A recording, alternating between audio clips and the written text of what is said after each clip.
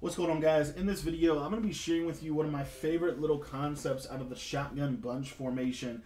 This concept is absolutely lethal against the user this year. This is really going to tie the user up. It's going to open up a lot of passing windows for your offense. And I'm super excited to bring this video to you today because this is going to help you defeat Mabel coverage. The meta that is starting to develop in Madden 22, ironically, is a very similar meta to the, to the meta of Madden 21, which is the basic concept of playing cover three with Mabel coverage and basically trying to user lurk over the middle. This play is going to put the user in an absolute bind. So I'm super excited to bring it to you. Now, if you're new to the channel, be sure to subscribe. We upload videos every single day on YouTube that can help you become a better Madden player.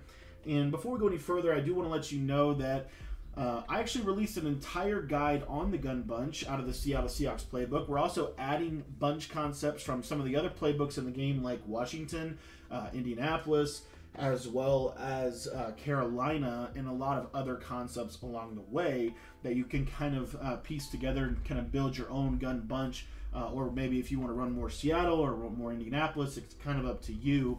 But we try to provide you with all of the content and all of the resources uh, to run this offense to the best of its ability. So we're going to show you how to run this play uh, today, but I also wanted to let you know that if you want to get the full guide, it's down in the description. You can get it for just 15 bucks. It's super affordable.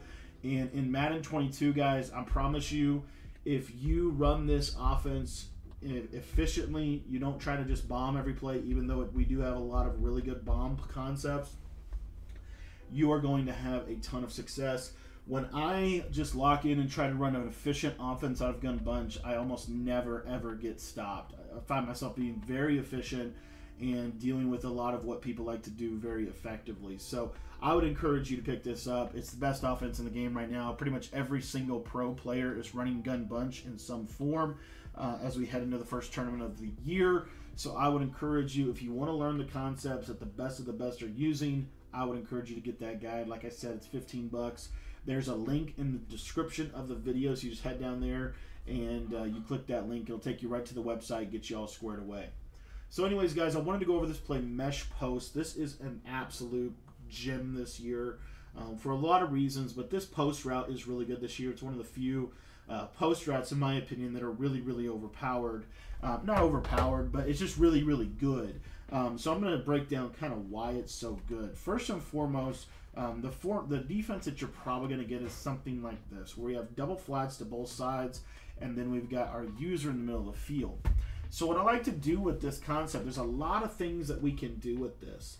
Um, but one of my favorite ways to absolutely just light laser out of this play um, is to put the square receiver on an out, to put the X uh, tight end on a in route, and to put the R1 on a hitch. And this is going to create very good spacing for us because we're going to motion circle just a few steps and then snap the ball. And your first read is always this left side. As you see right there, that running back route is really effective against Mabel coverage.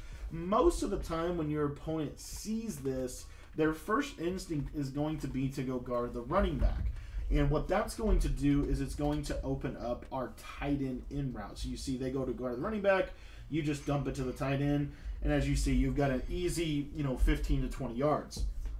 Now, if they don't, let's say that they go to the right at the snap of the ball and they're in that coverage, what you're going to see is in practice mode, it's honestly not as effective as it is in real game mode.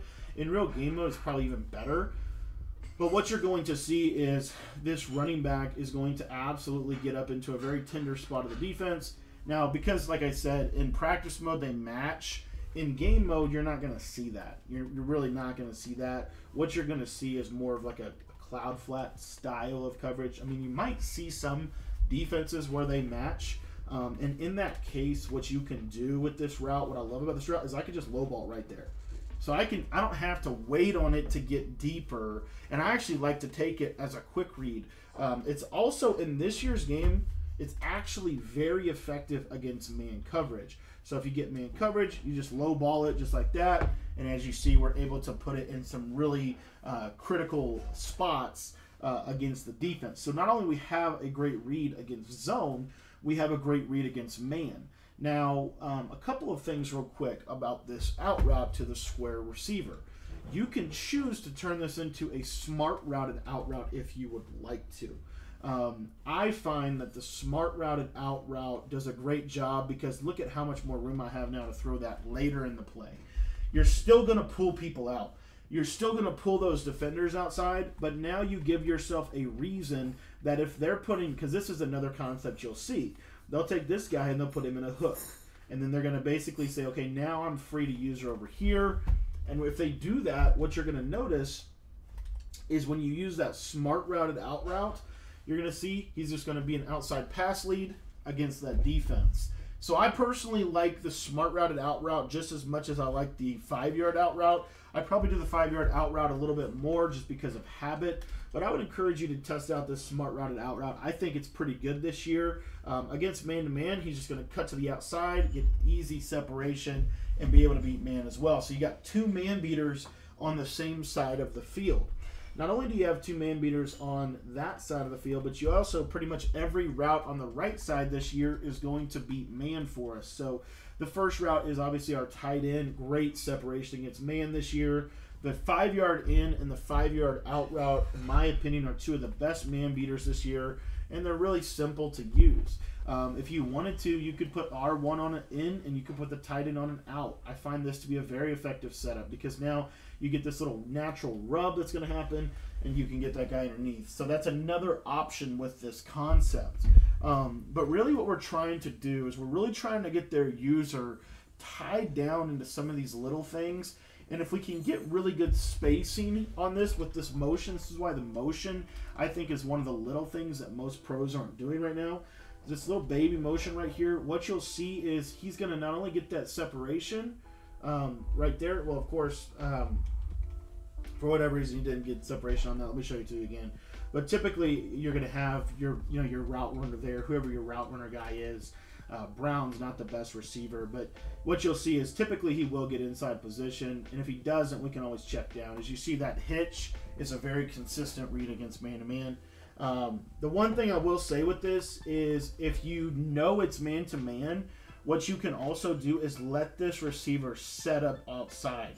Uh, what that's going to do is it's going to get him inside leverage, which is going to allow him to beat man coverage, just like that. So you can actually let him set his feet outside if you're worried that it might be man-to-man coverage. The motion snap on this post route, though, is a really, really effective way to run this if it is not man-to-man coverage. So let me show you what it looks like now. So remember, their user goes to the underneath, and now what we get is a lot of space to throw this post. Um, and what I love about this is we've got multiple windows. I'm a huge fan of that this year. I think that it's super important this year to have multiple windows at which you can throw a route. So, for example, let's say that they're playing the Mabel concept over here on the left side. I'm going to put hard flats and cloud flats out there.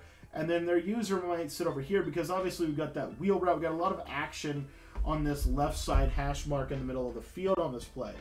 What you might do with this is you can actually let him set up just like you're running verticals and then snap the ball and now you're running this play. Look at this post route. Absolutely cook cover three and get in a very unique position against the Mabel coverage. So that's another option that you have. Um, and you're noticing what's going to happen if they're running these cloud flats and if they're running these other routes.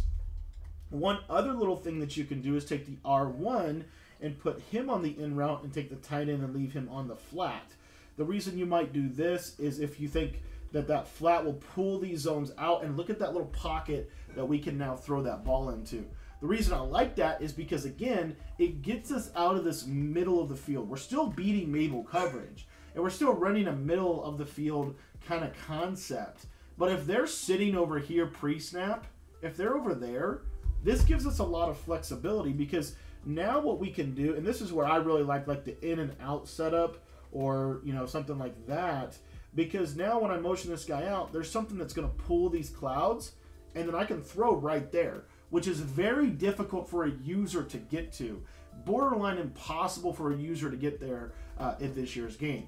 So not only do you have that read this year, but you also have another one that I'm really excited to share with you. So what they're going to do is they're going to run into this post, but they're going to let it go at a certain point, especially if they use it early on.